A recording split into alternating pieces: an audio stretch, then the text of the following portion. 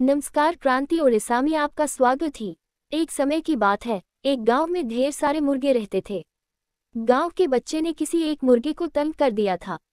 मुर्गा परेशान हो गया, उसने सोचा अगले दिन सुबह मैं आवाज़ नहीं करूँगा।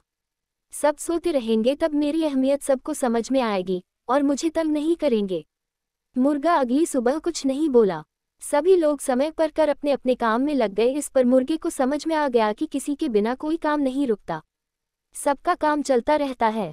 घमंड नहीं करना चाहिए आपकी अहमियत लोगों को बिना बताए पता